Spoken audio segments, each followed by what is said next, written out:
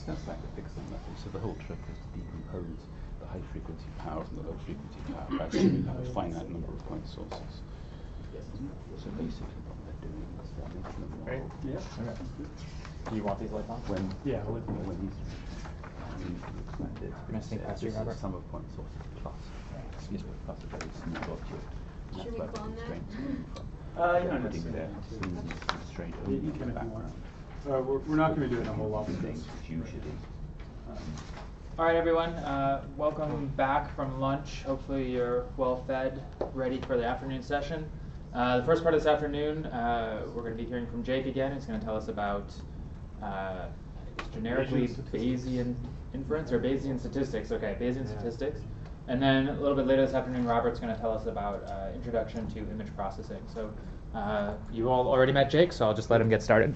Yeah, so um, this so we have a couple hours to talk about Bayesian statistics, and as with most things, there's there's a lot more than can go in in a few hours. So I'm I'm roughly basing what I'm what we're going to discuss now on this uh, day-long tutorial that I gave at AAS uh, last year. So all the in this repo right here, all the notes from that tutorial, and that's like like probably eight-ish hours of material if you if you include all the um, exercises and stuff. So it's it goes a lot more in depth than what I'm going to do right now. So I'm hoping that I'm hoping that in, in the next couple hours I'll be able to, to brush over some of the important concepts, give give you some uh, some interesting problems to try out yourself. Um, but then if you if you want to go deeper, you can look into here and the resources that are listed in there. All right. So um, how many people have have uh, how, how many people have thought much about Bayesian statistics or lear- learned about Bayesian inference? Just a few. Okay, yeah. So one of the things that um, I found was uh, I, I got like a good way through my graduate career before anyone had even explained to me what the differences between Bayesian approach and frequentist approach to statistics. And um, the it, what it really comes down to is um, it, Bayesian and frequentist approaches have a different definition of probability. So fundamentally, if you're talk if you're talking to a Bayesian or talking to a frequentist, it's a different de- definition of probability. And the Bayesian definition of probability is uh, degree of belief.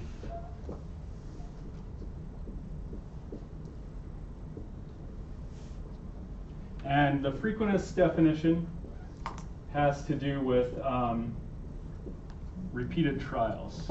So I'll, I'll unpack that a little bit. But this is this is really, I, I think, fundamental to understanding when, when someone talks about how they're doing a Bayesian approach versus a frequentist approach.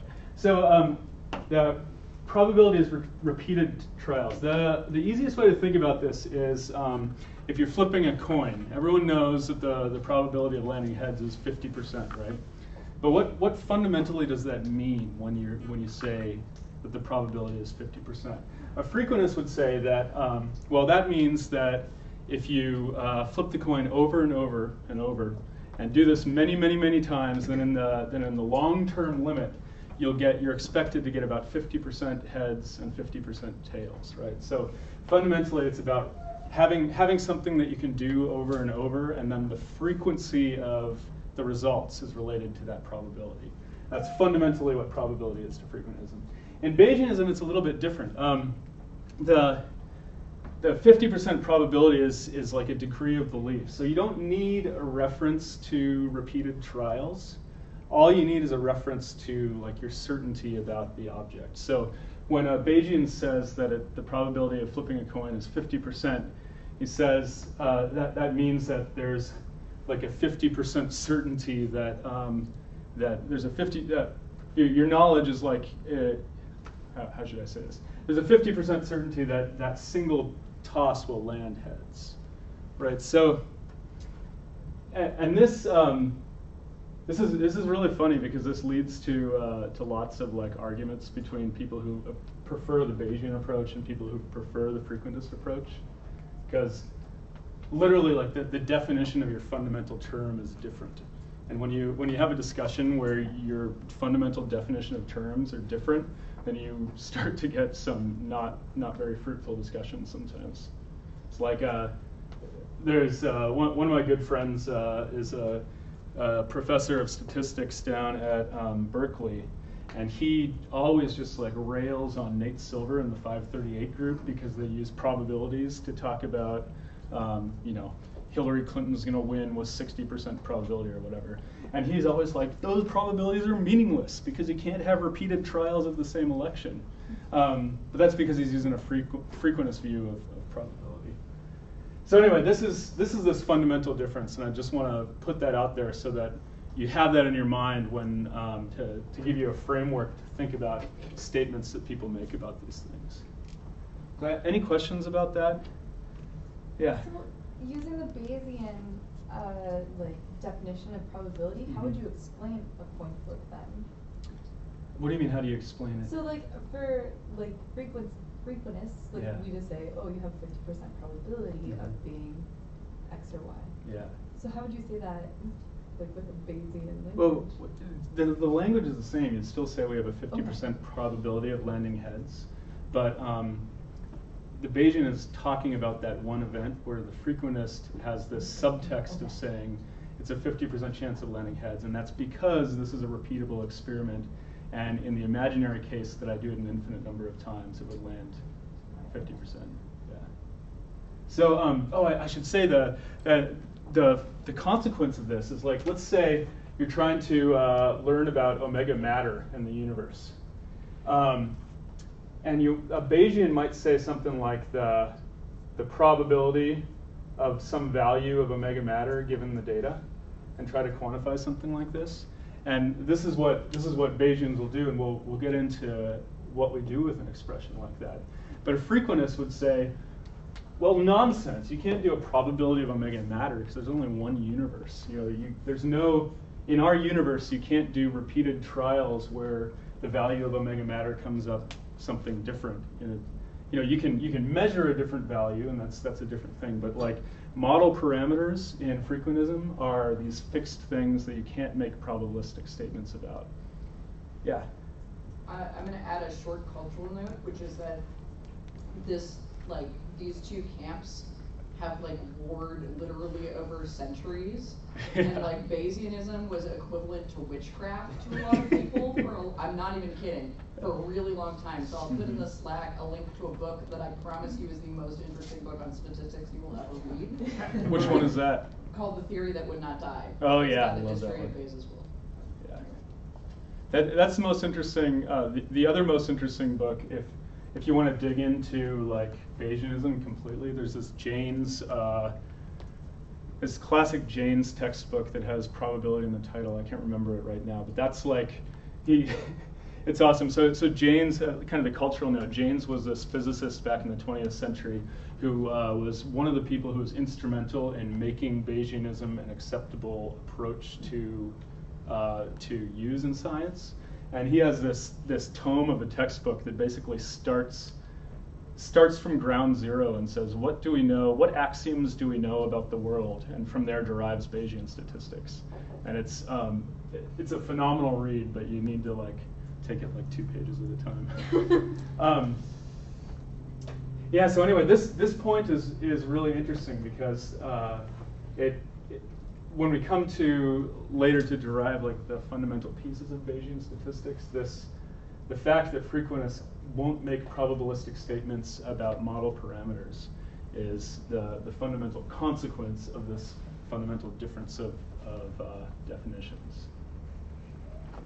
Okay, so I'm, I'm hoping now that you know when someone asks you, what's the difference between Bayesianism and frequentism, you can say it's definition of probability. That's what it comes down to, and some of the consequences. Okay, so any any other questions about that? Thanks for asking yours. All right. So um, in Bayesian's, Bayesian inference, there, there are two uh, kind of domains that we'll talk about. Um, one of them is uh, is model fitting, and one of them is model selection. and this is, uh, I should say, this isn't just like a Bayesian thing. The, the frequentist camp talks about the difference between model fitting and model selection too. But I, um, I, I want to start with those categories because they're they're uh, two they're two completely different problems in statistics, and the, the tools you end up using um, to do these are, are somewhat different. So model fitting is like uh, if you have a you have some data and it looks something like this.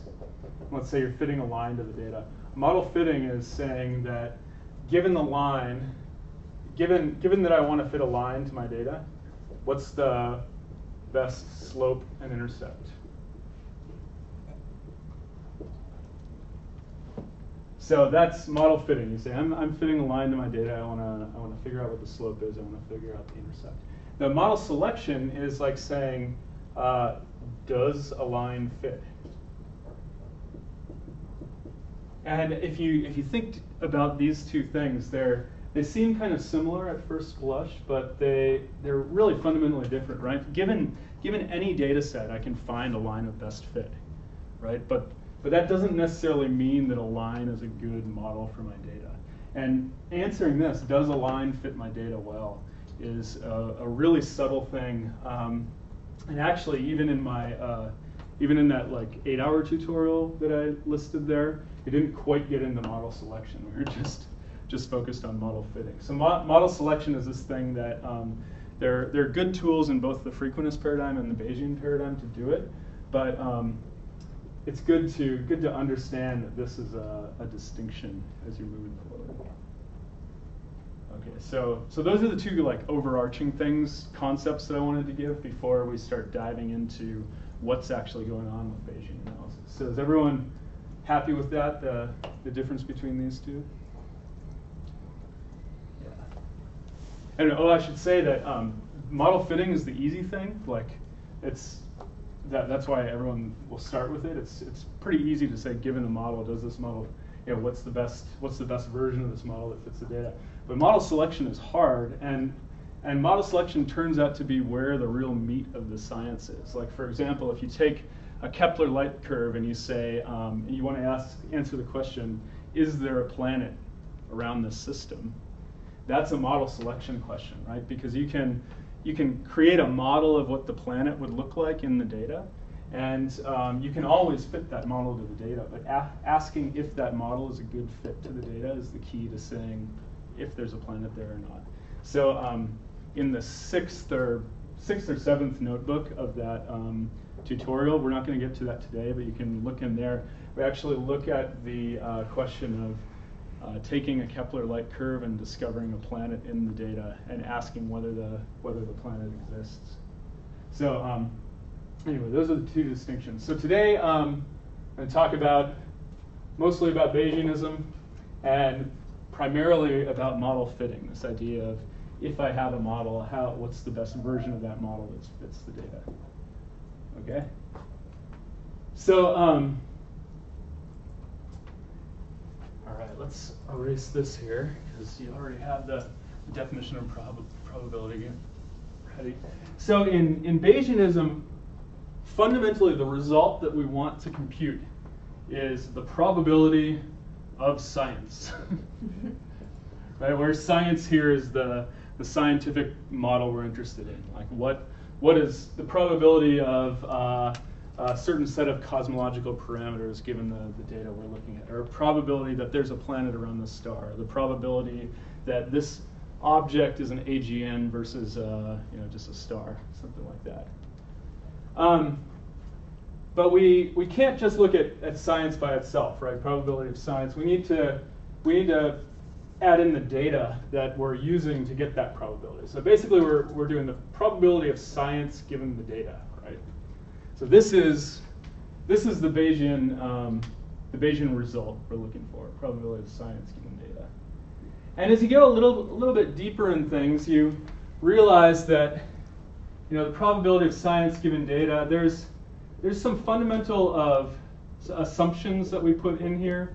So what we're actually doing is probability of the science given the data and uh, um, information. I'm just gonna they call it info right there. So info is like the background information. You know, we make some assumptions, like we we assume that Einstein's field equations actually describe reality, right? If we're doing some sort of cosmological thing, we, we make some assumptions about how the universe behaves, right? So I, uh, you always need that, that info in there. Um, and the other thing is, is oftentimes we're, when we're measuring this probability of science, there are, there are other things that come into the picture that we don't really care about necessarily. So for example, say our science here is the, the orbital parameters of a planet going around a star.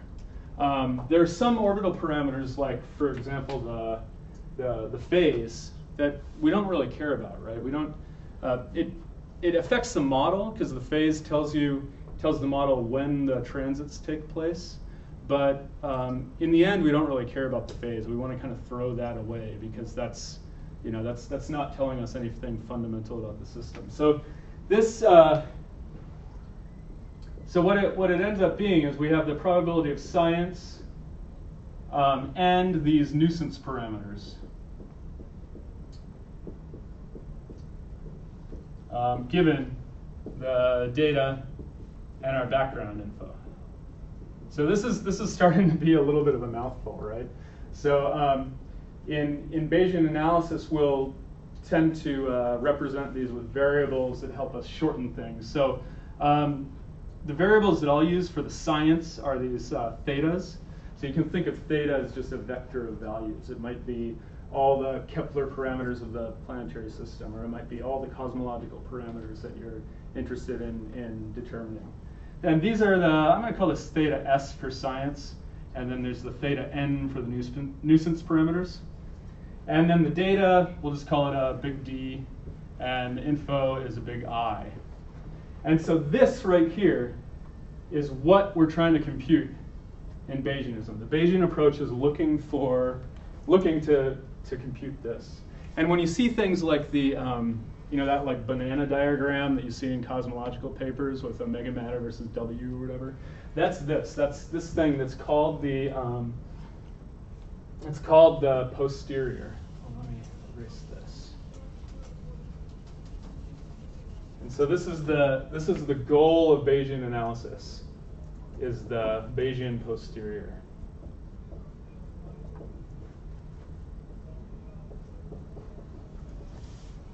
And the Bayesian posterior, like I said, will look something like, you know, if you have an omega matter versus W, it's kind of this like contour plot that um, will zero in on the on the right value of that. So you, you can, in two dimensions, you can calculate this Bayesian posterior and um, find find the maximum, and then given the spread of this distribution, that'll give you some idea about the uncertainty and the correlations in, in the parameters you're finding. Right? Does that that all make sense? So when you when you see one of these one of these Bayesian results, think posterior and think probability of science given data. Now this gets uh, this itself even gets a little bit cumbersome. So um, in in most cases you'll see this just shortened, and you we can put the the two thetas together for the time being and just call it one theta vector. And um, we'll just say the data over here. And a lot of people leave out this this i right there, that information, just because basically everything in the world is conditioned on our understanding of science and, and what we assume to be true, right? So uh, I'm going to write this here, this p of theta given d, but I want you to understand that that theta given d is the science plus the nuisance parameters given d and whatever background information we're assuming about the universe, right? So um, if this is the if this is the result that we're trying to compute, p of theta given d, and Bayesian analysis. What's the what what do you think a frequentist comment on this would be? What would what would they say? Yeah. So you have to do many measurements of the data to in many models. Yeah, well you have For one model, uh, it has to be done. Yeah, so I think I think what you're saying is that this you know, this theta represents something, this theta represents a model of the universe. And to ask about the probability of a model, the model of the universe, is meaningless to a frequentist, right? There, you can't you can't have these these multiple universes. Um, so fundamentally, what what the Bayesian what Bayesian inference is aiming at is a quantity that uh, a frequentist approach would say is meaningless, right? So so this definition of probability in the beginning ends up brings us to to completely different places, right?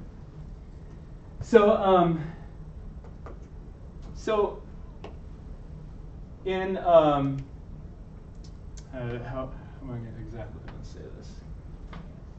So the, the problem is we don't have an expression to compute this quantity. The probability of the model given the data is something um, that we can't compute directly. But what we do have, what we can do is something like this, the probability of the data given the model. And this is, this is exactly what uh, Maria talked about earlier. This is the uh, likelihood. And to, to think about why we can why we can express this, it's like if you're what the, what the likelihood is is you say like you, you specify a model and you say I have this particular line that's fitting my data. I'm going to erase this and not make this a posterior plot anymore, but actually make it a uh, a y versus x plot with with a line that we're fitting to our data. Um, and let's say this is a particular particular theta, theta 1 or whatever. So this is a line that we're trying to fit to our data. And we can, we can ask how well this model fits our data, right? We can, we can do things like compare, compare all the, all the distance of the points to the line along the y direction and do the you know, sum of, of yi minus the model squared, that sort of thing, and compute this chi-squared type thing and that's related to the, the likelihood that Maria talked about earlier. So that when you do classic classic straight line fits in the in the frequentist paradigm, you're doing something like this, which is essentially just computing this likelihood, the probability of the data given the model. So that's something we can do, right? But the the problem is is that this is not true. The probability of data given the model does not equal the probability of the model given the data. So so we want in Bayesian in Bayesian uh, modeling, we want to compute this, but we only have the tools to compute this. So we have to figure out some expression that relates this p of theta given data to p of data given theta. Right, so this is where um, this is where we start to be able to do things like uh, where we start to look at the kinds of statements about probability that Marina made, or Maria made earlier, and um, and think about how we can use those axioms of probability to relate what we want to know to what we do know here. And so this is this is pretty fun stuff if you uh, if you get jazzed about algebra and manipulating quantities, right? We know that the conditional probability, we know the definition of this is just p of theta and the data together divided by p of data. So this is the, I should put a, a 3 equals here. This is a definition of, of conditional probability that we looked at earlier. And um, this is the, the kind of thing that um, we saw earlier, we saw it as sort of a Venn diagram type thing where you're looking at one, one section of the, at, at how this, this joint probability compares to the total. And the, the thing is that this, uh, this is completely symmetric too, right? If we look at our other piece, the p of data given theta, that's also equal to p of theta given data, but we're just dividing by p of theta instead. And now um, you can use the, uh, the algebra skills that we all know and love, right? To, um, let's say you, you, know, you multiply this by p of theta, and you can cross that out, and now you have a quantity here. You can substitute this in, and what you end up with is this p of theta given data equals p of data given theta times p of theta over the p of data. Right, and this right here, this is Bayes' theorem or Bayes' rule, depending on who you ask. And um, what we've done now is we we have an expression that we can use to get the thing that we want, this p of theta given data, in terms of something that we know we can compute. So this is the expression we want. This is the likelihood that we can compute, and these are some other terms, right? So one thing to note here is that this the, the this Bayes rule right here is not something that um, anyone disagrees about. Like uh, even a frequentist would look at this statement and say, like this is a correct statement of probability. It's not it's not Bayes' rule itself that that causes the controversy. What causes the controversy is when you um, when you assign something to these values and you say, for example, theta is a fixed model parameter. Because then when you when you make this when you make this swap of, uh, of dependent and independent variables via Bayes' rule, you end up saying, making a probabilistic statement about theta, and that's the thing that Bayesians are okay with and frequentists are not okay with. Right, so, so this is Bayes' rule, and and just to um, to to list these out, these are the the terms in Bayes' rule are pretty important to understand because it's that's the fundamental piece of knowing how to compute this result. So the as we said before, the p of theta given data, this is called the posterior. Or um, the full name is the posterior probability. So this is the, the thing you're interested in, right? Um, this p of data given theta, like I mentioned before, is uh, known as the likelihood. And this is the thing that, that we can we can calculate. And it's actually, um, in, in most cases, is the exact same quantity that the frequentists are maximizing in order to solve for the best theta. So that, that's that's kind of a um, intersection of the of the Bayesian and the frequentist approach is that they both depend on this likelihood in, in most cases. There are some there are non-likelihood methods that frequentists use as well. Um, then this p of theta is what's known as the prior. Um, and this part, this p of theta, this prior, is probably the most um, most controversial piece of uh, Bayesian analysis. Because think about what this is saying. This is saying the prior is saying, what do I know about my answer before I looked at any data, right? So what do I know about the universe before I observed any stars? Uh, that, that's the prior right there. And you can see why that might be a little bit problematic because, you know, how do you, how do you make any, any statements about the universe before you've observed it, right? And there, there are some various approaches that Bayesians use for this, and I'll come back to that in a second. But you should know that the prior is the, the place where people uh, start to start to chip away at Bayesian, Bayesianism. And this um, this P of data, this is another slightly problematic term. This is sometimes called the uh, evidence.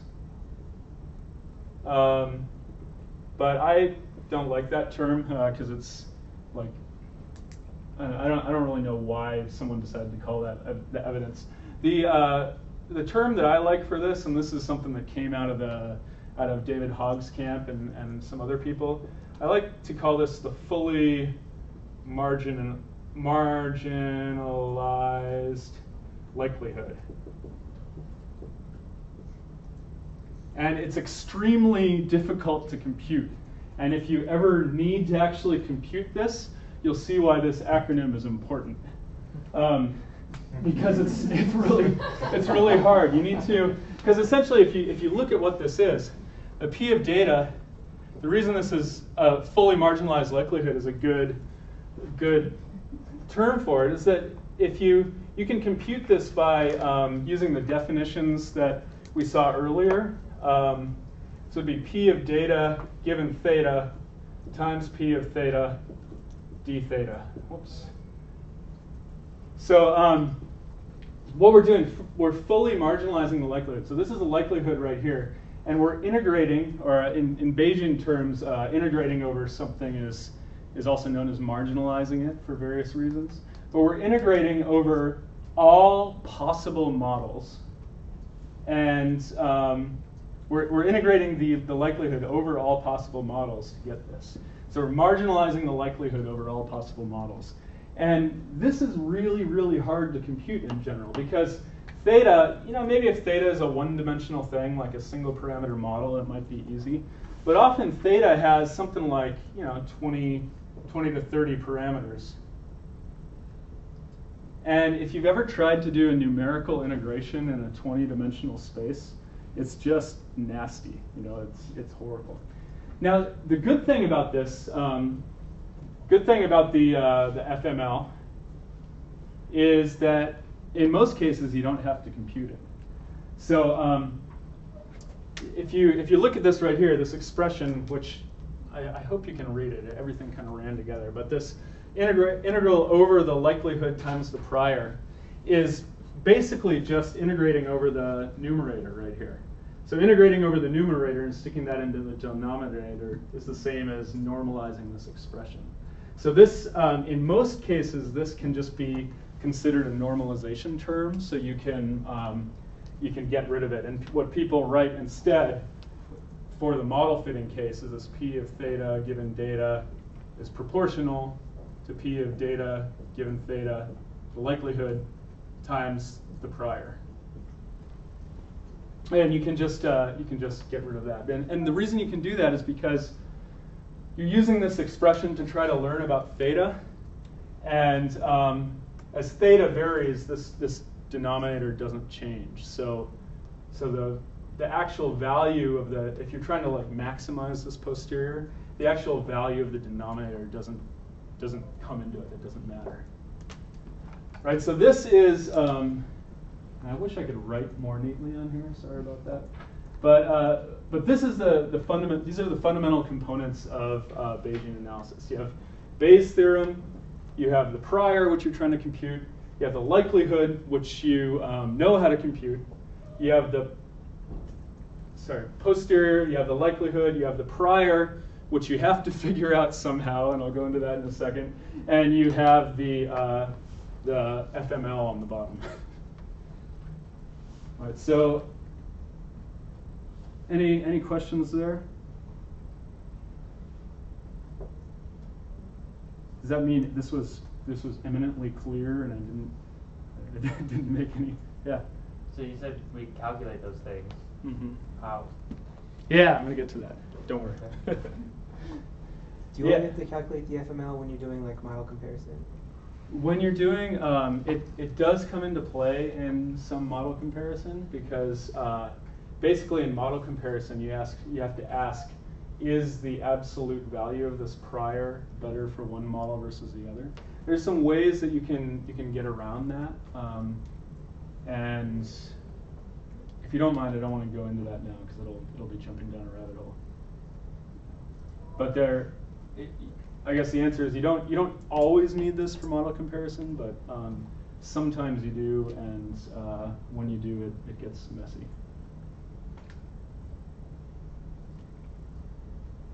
Okay. So I hope that now if I say posterior or likelihood or prior or um, FML or evidence that you'll know kind of generally what I'm talking about because this, this is going to be the vocabulary of doing this Bayesian inference. Yeah. In the presence of sufficient amounts of data, is there any fundamental difference between maximize between finding the maximum posterior and finding the maximum of the uh, MOA? Yeah, that's a good question. So if you um, you're asking if you if you maximize this side, is there is there any if, if you have a lot of data, does the basically does the prior have any effect, right? And if you have a if you have a whole lot of data, the answer is usually no, and that's that's nice. So you can if you're just trying to maximize the posterior, you can often maximize the likelihood, and and um, uh, a frequentist would say, well, that's why Bayesianism works because in the you know in the end case you're just doing the frequentist thing, and a Bayesian would say, oh, that's why frequentism works because in the end case you're just doing the Bayesian thing. um, there, there, are, there are good reasons to maximize the likelihood and think about it fundamentally from that approach, but there, are, there are also really nice reasons for for maximizing this, and I'll, I'll get to that. I'll get to that in just a little bit. So. Um, I'm going to erase these terms mainly because I can't read them anymore.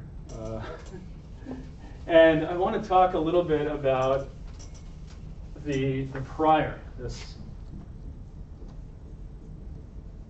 this p of theta. So the a probability of the the probability of the, the science things we're trying to compute before we see any data. Um, does anyone have ideas or, or thoughts on how we might quantify this? How how might how might we uh, we write down something that'll give us that prior? Like physical laws? Physical laws? Yeah. So you mean uh, Like if you have an idea of how an oscillator moves, that might give you Yeah, yeah. So you have you have some sort of like I'm going to call this uh, I'm going to put this under um, empirical prior. So slash physical laws, something like that. So this is stuff that we can just assume about the universe. Like, for example, um, if we're trying to compute the prior on something like omega matter, we might set the prior so that omega matter can't be less than zero, right? We, we sort of know that there's not a negative mass density in the universe. And that, that's something that you, you can do. And yeah, physical laws, if you know, if you have some sort of physical intuition or empirical intuition about how the, how the parameters are. And this is, this is honestly the best kind of prior. If you can justify the prior somehow through previous scientific knowledge, then that's really, really the best way to go. Um, any other ideas about, about how we might use a prior? Yeah? I don't know what it is, but I've heard people talk about flat priors. Yeah, yeah, so flat priors. before. Uh, so what's a flat prior? Flat prior is uh, basically you say if you have a graph, this is the value of omega matter and the probability of omega matter. You just say that the probability is flat. It's like you know equal probability everywhere. So this seems to be um, this is this is a popular one uh, because it, it's sort of it sort of gets at this idea of um, having no knowledge of the parameter, right? So, some if you're if you're encoding your knowledge as a probability, you might as well say it's equally probable everywhere. So that that's that- yeah. I was gonna say, is that where you would include like, if you had uh, like observational constraints or biases or something like that? Yeah, exactly. So you, you could you could put like uh, some sort of empirical prior along with the flat prior and like limit this somewhere. The problem with the true flat prior is that it'll go from negative infinity to infinity, and you can't normalize it, right? So you need um, if you're actually if you're gonna if you're gonna use a flat prior, you um, in practice need to set some hard limit somewhere or another. Um, and that's one of the things that, that frequentists love to complain about when Bayesians go to flat priors. Because it's an unnormalizable prior, and then at that point your probabilities really become meaningless, um, even though you can sort of progress forward.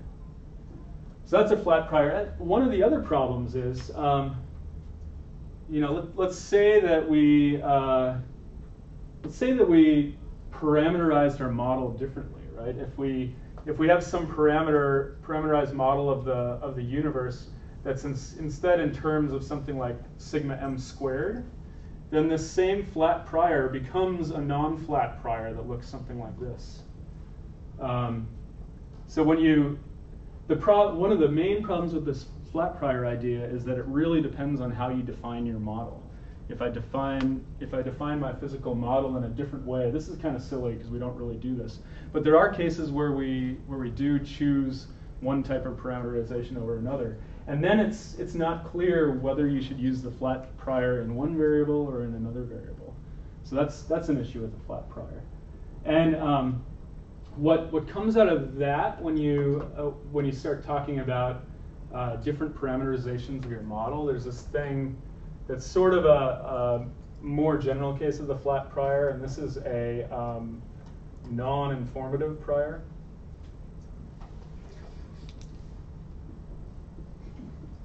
And um, it's it's basically like a, a more technically competent way of doing what you're trying to do with a flat prior.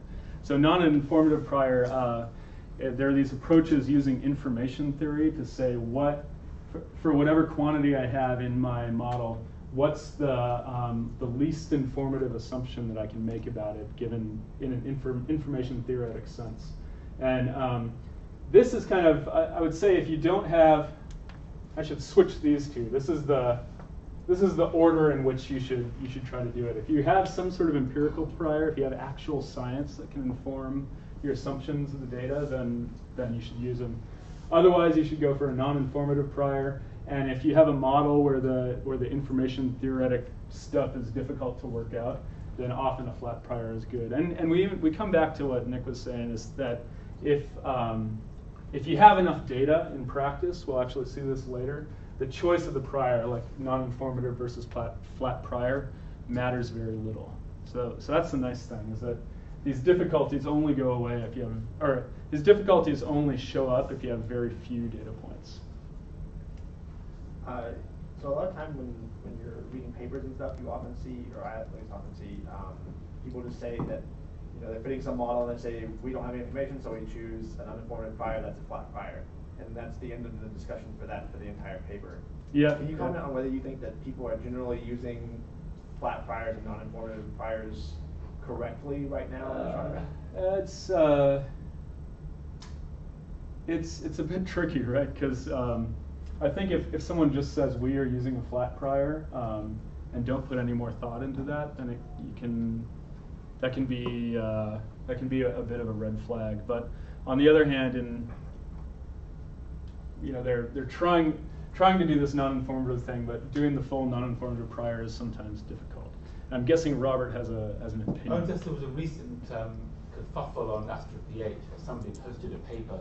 Did you follow this? No, I didn't. Where somebody wrote a paper saying a new principled approach to something or other using non-prior free statistics. And Bob jumped on them, pointing out, as you say, that no, that's not quite what you mean. You mean you're making this assumption about the prior. Yeah. So there are times that people overclaim in the literature, and I think mostly I agree with Jake just um, sort of brush it under the covers and hope that it doesn't matter. I'll give an example where even where you have lots of data, the priors really mess you up if you try to include data, so you can't quite Okay. always ignore it. Yeah, I should also mention there was there was another thing. So I was involved in the, um, the Sloan 2 supernova project with uh, yeah, the this Kessler et al. paper in 2009, and there's a really interesting thing there that we were doing. Um, we we needed some sort of prior model on the flux from supernova in in the whole analysis. And we know physically that flux can't be negative, right? So if you if you actually cut off the the, the probability distribution for flux at zero, um, that's something that's sort of this empirically motivated prior.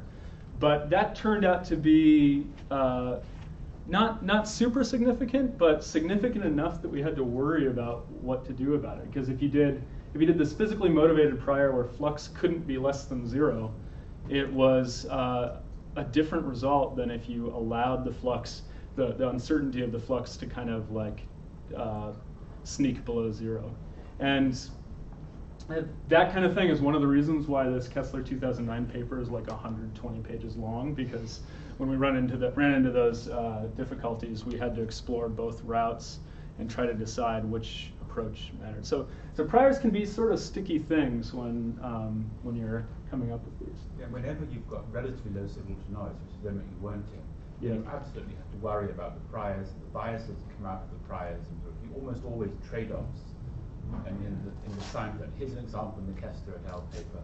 If you're doing faint galaxy photometry, you have to decide whether to use priors or not, and they give you bias as a function of magnitude. Mhm. You would never accept that in stellar photometry, but you have to for galaxy photometry, or else you have to do something else unprincipled. So I Mhm. mean, the whole game of priors is very closely tied up in the science you're going to do. It looks just like a Bayes theorem analysis, Yeah. but it's, I mean, I agree with Jake, it's really hairy, it's, it's hairy because it's science, it's not just statistics. Mhm.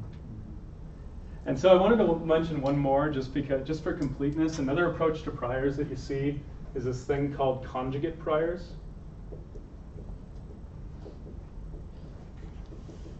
And this is basically uh, this. This is something that was popular in the mid 20th century um, because what a conjugate prior is is it makes it's a, a special form of prior such that when you multiply it by the likelihood, it makes the posterior a nice function to work with. So if you have if you have a certain likelihood, you can choose a conjugate prior, and you can do these sorts of things um, analytically. And that's kind of nice in like the you know if you're a mathematician sitting in a room writing on yellow notepads. But if you actually want to do science, um, conjugate priors are, are not a good choice because they you're imposing these assumptions on your scientific process that have nothing to do with reality. They just have to do with mathematical mathematical convenience. And you'll still see um, people write screeds against Bayesianism that talk about how conjugate priors are really bad. And uh, I would say I agree they are really bad. You, you should never use them. Um, but just, just know that they exist. And if you, if you ever take like an intro to Bayesian statistics in a, in a stats department or in a math department, they might spend uh, weeks and weeks on conjugate priors because they just love the beauty of how when you multiply them together, you get this nice function and you can do everything cleanly. It's the analogy of Soviet mathematics always using Bessel functions, the hypergeometric functions. Maybe. It's the only thing they could do because they didn't have computers. You wouldn't do it now. Yeah, yeah, exactly. So these are these are kind of the four types of priors that you'll see in um, when you actually do some analysis.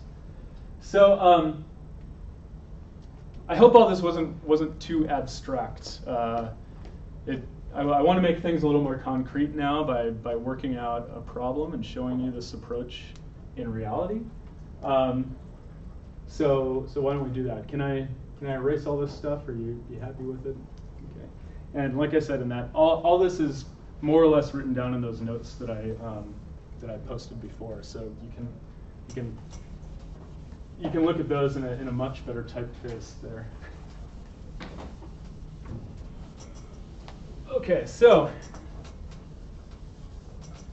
let's talk about um, the classic the classic statistical problem fitting a line to data. Right, everyone loves fitting lines to data. Um, so we have this, these data points that looks, look like this, and each one of these has an xi, comma, yi that defines it. And uh, let's even make it, just for fun, let's give these an error bar too, uh, epsilon i. So you can imagine each of these points has a little error bar, and it's the xi, yi, epsilon i that we had for the data. And this, this is equal, this is our data right here, our big big D in the in the Bayesian analysis. So let, let me write Bayes' theorem here just so we have it again. So P of theta given D equals P of D given theta times the prior P of theta over the FML P of theta. Right, so we have these, so, so again, the, the D here, the data, equals the set of xi, yi, and epsilon i, where the epsilon are the, are the error bars. And um, we're going to want to fit a line to data. So the um, what we usually parameterize the line by is this intercept b and this slope uh, m, right? So you're, you're used to that. You've done that before. So the theta, the theta here is a vector of um, b comma m. So um,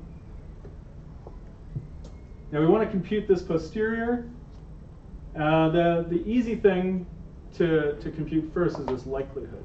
And the likelihood, if, you, if you've ever fit a line to data, you've probably constructed the likelihood before, because this is the, the classic way to do it. And what the, what the likelihood is, we want to know the p of data given theta. So we, we want to know the, the probability of this set of xi, yi, sigma i, given our model parameters, our slope and our, our intercept and our slope. Um, and this is where uh, we often will usually make an assumption, right? You, we want a probability of all these numbers together. But if each of these points is independent, if it doesn't, if each point in a sense doesn't depend on the value of the previous one, or I should say, if, if the error in each point doesn't depend on the error in another point, um, we can turn this into a product where we do a product over all the i's of the probability of xi, yi, sigma i given the b and the m, the slope and the intercept. So this is the um, this is the fundamental assumption that goes into a lot of likelihood calculations. You're you're multiplying together the, the independent probability of each data point, um, and and the result is this this probability over all the data points.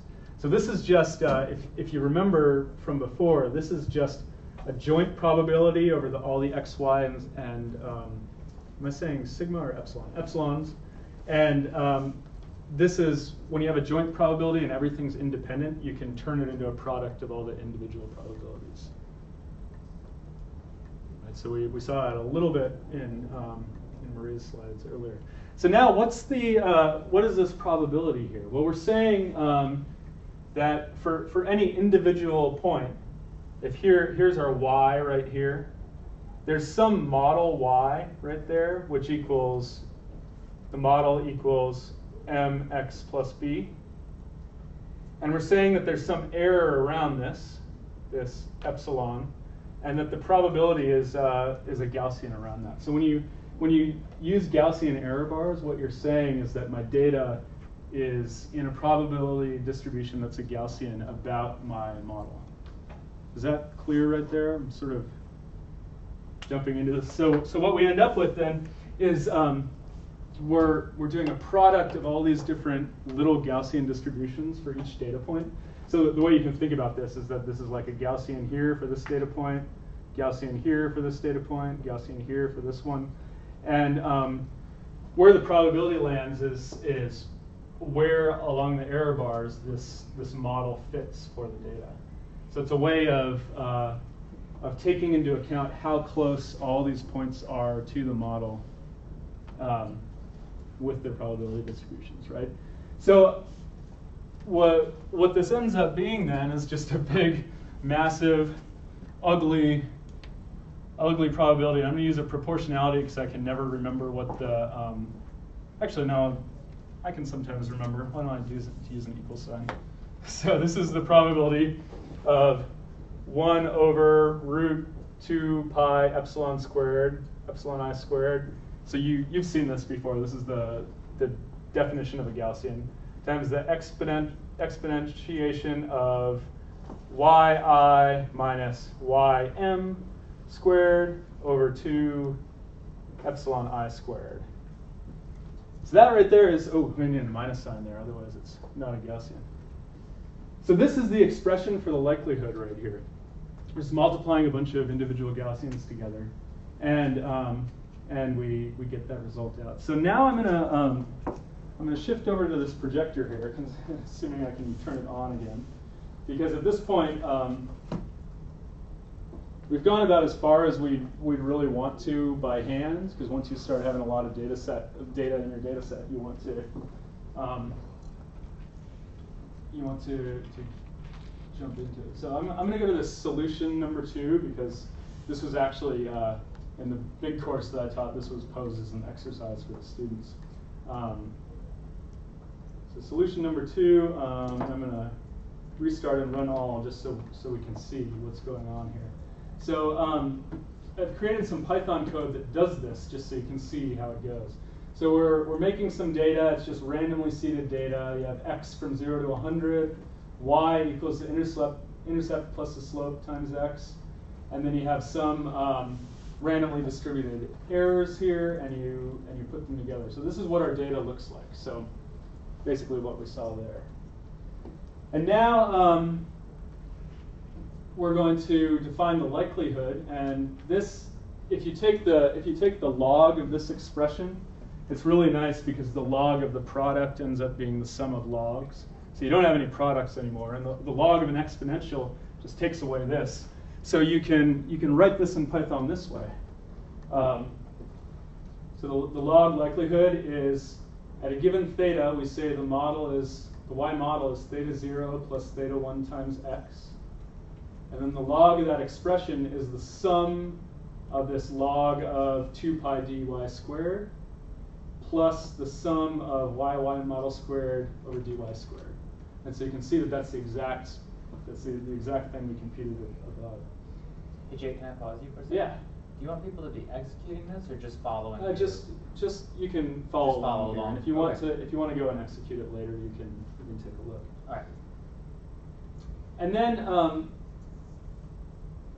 what what you can do here, the, the frequentist approach now um, will will stop at this likelihood, and the frequentist approach says, I just want to maximize this likelihood because I don't care about priors and posteriors and all that. And for for relatively good reasons, um, you can say in frequentism that maximizing the likelihood is a good thing to do to find the model parameters. Um, and so you can do this sort of thing with uh, SciPy optimize. Here's a minimum func.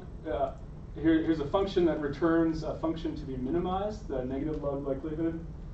You can minimize it with this optimize and then get the result. And and here, let's see what the input is. The the true theta is is an intercept of 25 and a slope of 0.5. The the maximum of the, of the likelihood is uh, intercept of 24.8 and a slope of 0.47, right? So we're the the maximum likelihood is giving giving us something reasonably close to the input. Now this, uh, if you let's see where where I going to do that? Oh yeah, so there, there's all this code that you can write to do things like this, like to um?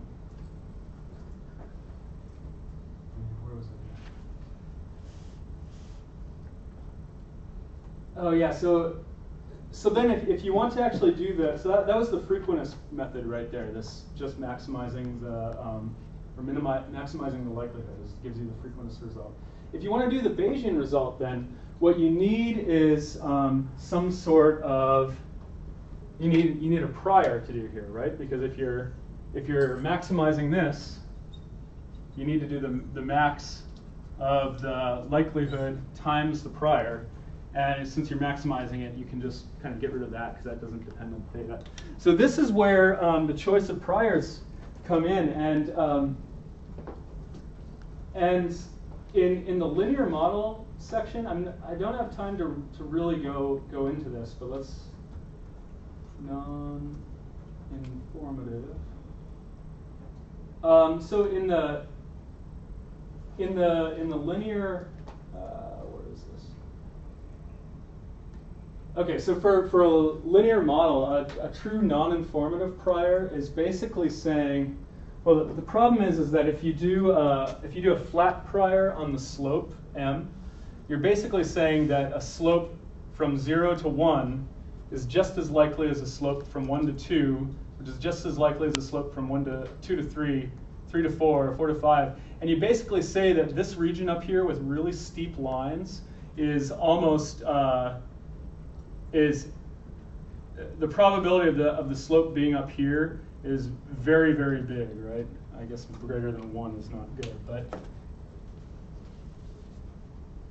anyway, do you sorry, do you see do you see what I'm saying there? If you if you say that any any range of any unit range and slope is equally probable, then you're saying that this range is equal to this range is equal to this range is equal to this range, and you're heavily weighting the um, very very steep slopes, because a, a slope of a million to a million plus one is the same probability of a slope from zero to one. So uh, a flat prior in a in a linear context is not all that great, but a flat prior a, a non-informative prior that you can derive is something that looks like this. Um, the probability of the slope is 1 plus the slope squared to the minus 3 halves. And I'm just, right now I'm just going to uh, state that, and I have some references in here that, that sort of go into why you might choose something like that. Um, but it, one, one thing to note though is this was 1 plus m squared to the minus one half. If you think about trigonometry, you might remember that that has something to do with the, with the tangent, right? So this is kind of like saying that you have a flat prior not on m, but you have a flat prior on this angle phi here. So it's so any any angle of the line is equally likely. So that, so this is one of the things like the the difference between the flat prior and the non-informative prior is relatively important here. So when you code that up, when you code that up, it looks like this. So the flat prior is um, you, you need a cutoff, so I just said if the slope or the intercept is greater than a thousand, we're going to say that that's that's cut off. Or if it's uh, if it's less than thousand, we're going to return zero. So log of log of minus infinity, sorry, log log flat prior. What do I do? Oh yeah, so log of uh, if if these are are within the range minus thousand to thousand, then it's um, equally likely, and we just return zero because log of one is zero. We have some proportional thing. And then if we're outside that range, we turn, we return minus infinity because the log of zero is minus infinity. So we're, we're drawing this uh, prior that looks kind of like this. Um, here's m in the middle, and it's, uh, it's a top hat centered on zero that goes out to plus 1,000. So that's, that's the flat prior. And then the, uh, the non-informative prior, this, this symmetric prior, looks like this. Minus the, the log of it looks like this 1 plus theta squared. Log of that times minus 1.5. So it's, uh, what does that end up being? It ends up being something, something looking like this, right? Roughly, I don't know the, the exact cutoff. So th those are the two priors that we're using. One of them is motivated by just wanting a flat prior. One of them is motivated by wanting some sort of information theoretic, non-informative prior. And what you end up with when you, um, you can define a function to, to plot this with the contour levels, and you end up with, for this data that we put in, the flat prior and the symmetric prior give these results. So here's the slope on the x-axis and the intercept on the y-axis. And these are one, two, and three sigma contours that you might be used to seeing in like cosmological papers, right? So the, the maximum is right in the middle, and the maximum between these two is basically the same. The, even the, the, the errors on these two are basically the same. So what we've found is in this case, with this much data, the, the choice of the prior just doesn't matter.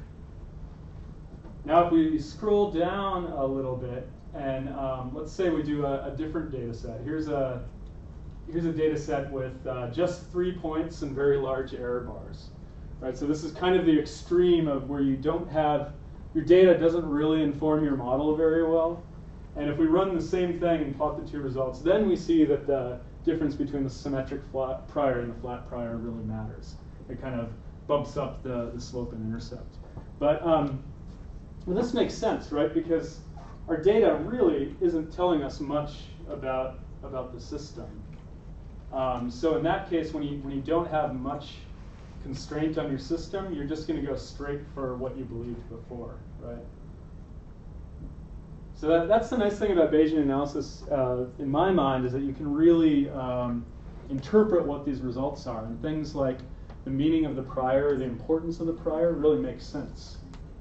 Um, so this would be similar to saying like, I have, I have some knowledge of the universe from WMAP, and I observed one supernova, and I want to see how that affects things. You know, it's, it's not going to affect things. You just, WMAP is your result. But if you start with WMAP and you apply a million supernova from LSST, then you have enough information to start shifting things around. And whether you use WMAP or BAO as your prior is going to change things, or is, is not going to change things in the end.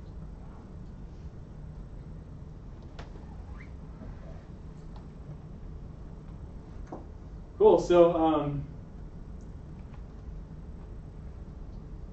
yeah, so we've done we've done a Bayesian model fit now, right? So it's it's all this uh, it, it's all this background, all this kind of formalism that gives you this machinery that then you can use to uh, to find the posterior and find the results that you're interested in. Um, and right now, I think this is a good time to take a little break because. Uh, this has been pretty dense. So why don't we break for about 10 minutes and then come back and um, after we come back, what I'm going to do is talk about um, how Bayesian analysis is done in practice.